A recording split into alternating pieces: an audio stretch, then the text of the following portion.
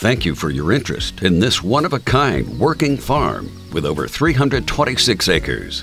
You're looking at great, mature cotton at its best. It was a great harvest year. The farm is being sold at auction to settle the Hillery Key estate. The farm has been in the Key family since 1881, and for the last 25 years, farmed by a local farmer. There is some sufficient amount of timber, approximately 110 acres. The auctioneer will offer the land at auction in total of 326 acres plus or minus. And it'll also be offered in three tracks. Track number one, 65 acres. Number 2, 104 acres. Tract 3, 156 acres. John Roebuck will offer the timber to the highest bidder.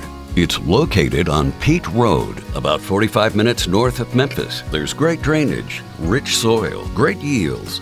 Check out the website, johnroebuckauctions.com, to find out the terms and conditions and the date of the auction. Call John direct, 901 Roebuck. Good luck, good bidding, and God bless.